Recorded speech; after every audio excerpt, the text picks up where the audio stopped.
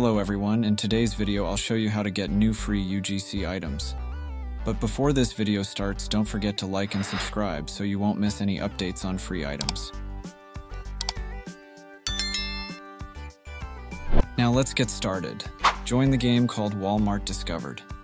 In this game, we have the chance to obtain the Cherry Lollipop Ponytails. To get them, we need to be among the top 5 in 3 mini-games. The quest is pretty easy. Mini-games will randomly pop up in the corner of your screen, and you need at least two players to participate.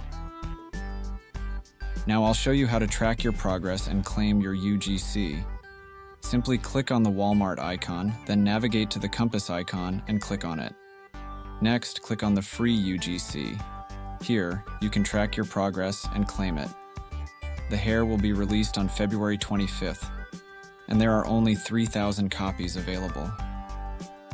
Join the game called Play for UGC.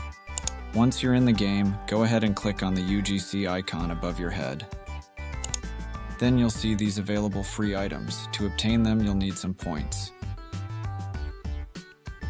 You can earn points by staying in the game until the timer runs out, and by completing the task at the top right corner of your screen.